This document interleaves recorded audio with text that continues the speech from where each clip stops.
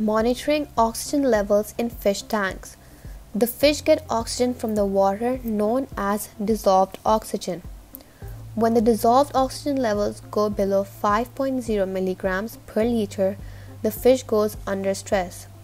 If the oxygen levels remain below 1 to 2 milligrams per liter for a few hours, it can result in significant fish deaths.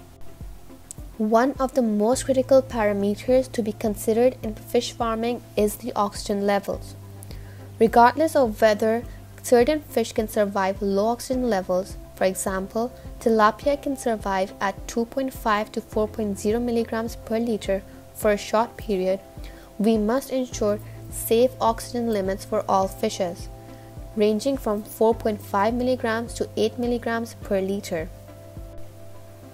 Necessary oxygenation of aquaculture water can be done by air blowers or injection of pure oxygen.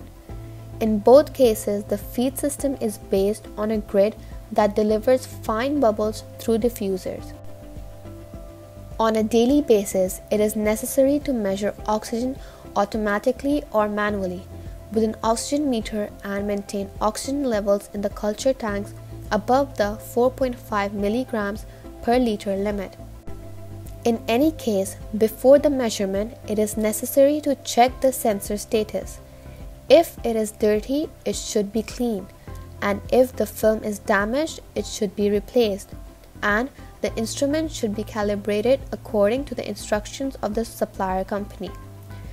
In order to maintain the effectiveness of air oxygen diffusers at their highest efficiency, it is necessary to check and clean them daily to provide continuously small fine bubbles.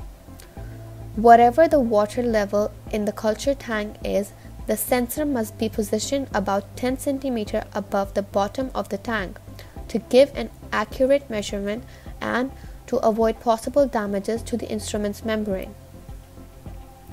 By using automating oxygen systems, we avoid the risk of low oxygen levels particularly when the staff is not around.